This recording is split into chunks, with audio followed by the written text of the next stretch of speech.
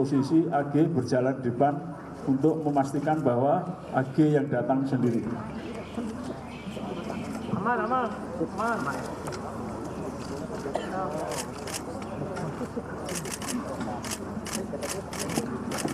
Kita bergerak untuk ke adegan TKP depan rumah. Nah, bang, duduk bang.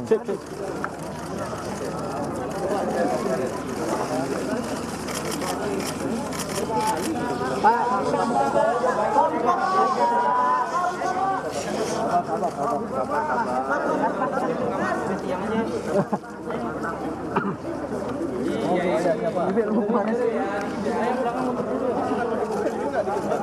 Pak, yuk mundur dikit.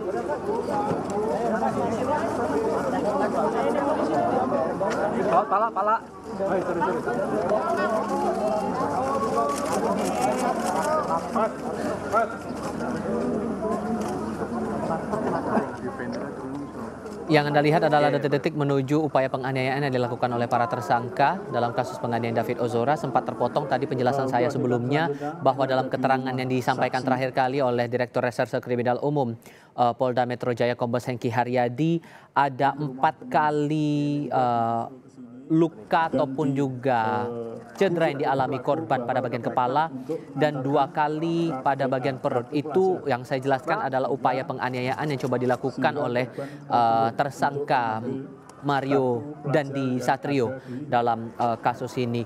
Ba selain dari uh, alat bukti Rubicon, ada beberapa bukti lain yang juga dijadikan dasar bagi penyidik untuk mengembangkan kasus ini seperti uh, percakapan via aplikasi pesan singkat WhatsApp, lalu rekaman video serta CCTV di sekitar tempat kejadian perkara. Sehingga ini menjadi cukup krusial untuk menggambarkan secara utuh apa yang sebetulnya terjadi terlebih dalam proses rekonstruksi ini apakah keterangan ataupun juga kesaksian dari para saksi, pelaku dan tersangka ini benar-benar selaras dengan apa yang sudah dipegang oleh penyidik terutama dalam hal ini bukti-bukti yang berhubungan langsung atau berkaitan erat dengan tindak penganiayaan terhadap uh, David Ozora. Selain itu uh, dalam keterangan terakhir juga disampaikan uh, dalam proses ini dari pihak Polda Metro Jaya juga melibatkan sejumlah uh, pihak dari instansi lainnya mengingat kasus penganiayaan terhadap David ini ada keterlibatan anak yang berkonflik dengan hukum sehingga penanganan secara aspek sosial, aspek psikologis ini menjadi penting.